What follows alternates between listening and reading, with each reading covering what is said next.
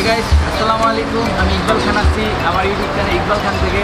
তো guys welcome to my another vlog তো guys আজকে আমার ব্লগ নাম্বার সেভেন তো গাইস ব্লগ নাম্বার সেভেনে যাচ্ছি আমরা উত্তরা দিয়াবাড়ি। তো গাইস আমাদের সাথেই থাকুন আর আমার ব্লগ নাম্বার সেভেনটি এনজয় করতে থাকুন। আশা করি আপনাদের ভালো লাগবে।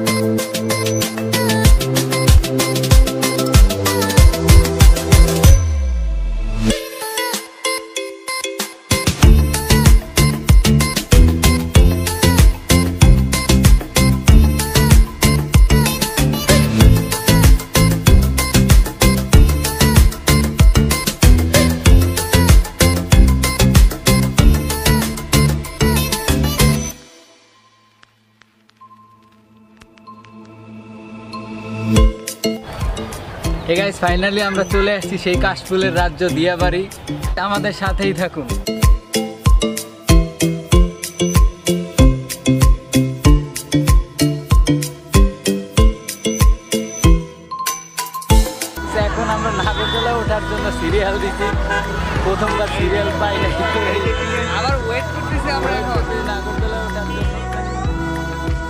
Six months later. আমরা নাগরদোলায় উঠে পড়ছি, তো অনেক এক্সাইটেড নাগরদোলায় অনেক ছোটোবেলায় উঠছিলাম। তো গাইজ আজকে অনেক ইচ্ছা ছিল ব্লগটি অনেক সুন্দরভাবে করব বাট করা হয় না কারণ অনেক অনেক ভিড় হয়েছে গাইজ এই কারণে। আর এত পরিমাণে ভিড় যা বলার বাহিরে হাঁটাও যায় না, এই অবস্থা।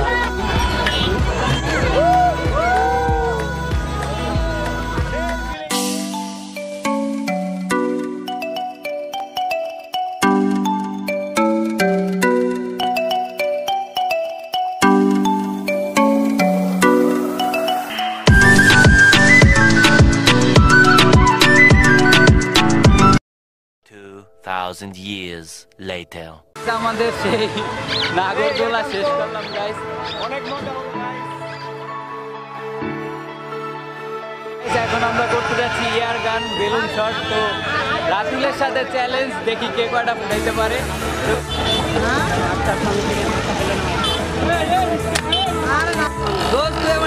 কোনটা ফাটাবো? আচ্ছা দিলে তুই এটা ফাটা। এটা ফাটাইতে পারলে নগদ একশো টাকা দিব যা। ও ও আমি জিতছি একশো টাকা কি একশো উইন উইন উইন ঠিক আছে একশো কয় টাকা কয় টাকা বাঁচিয়েছে হান্ড্রেড। হান্ড্রেড। আচ্ছা ঠিক আছে আমার কয়টার মধ্যে কয়টা হয়েছে? তোমার পাঁচটার মধ্যে তিনটা হয়েছে। তোমার? আমার পাঁচটার মধ্যে পাঁচটা হইছে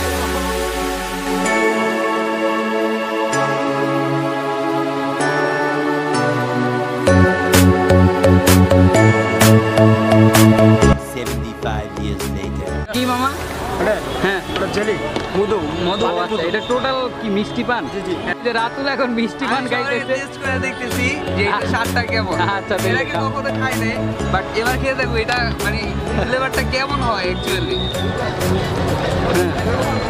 কেমন? মিষ্টি মিষ্টি একটা ফ্লেভার আছে কারণ মামা এটার মধ্যে মধু দিয়ে দিছে ও তেলে তুমি আর মধু খাইতেছো? ইয়েস এটার মধ্যে মধুর স্বাদটা আছে আর আরও মশলাপাতি দেওয়া আছে। মানে খুব মজা এটা ও, আচ্ছা তাহলে আমিও ট্রাই করি ধরো আমিও ট্রাই করি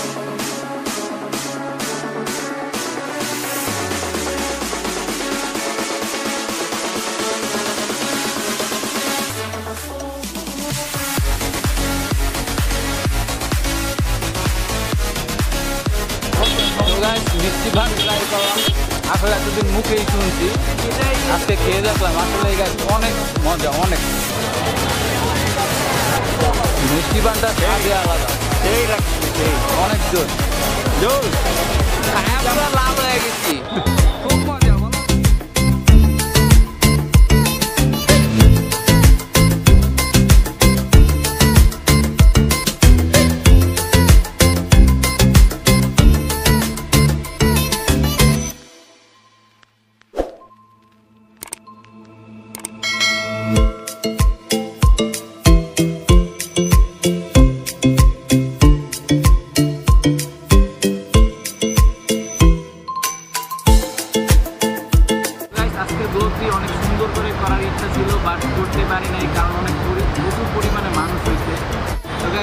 ব্লগটি এখানে শেষ করতে হচ্ছে। আশা করি আপনাদের ভালো লাগছে। আর গাইজ ব্লগটি যদি আপনাদের ভালো লেগে থাকে please like comment share and subscribe করে দিন আর গাইজ যেহেতু নতুন চ্যানেল তো বেশি বেশি সাপোর্ট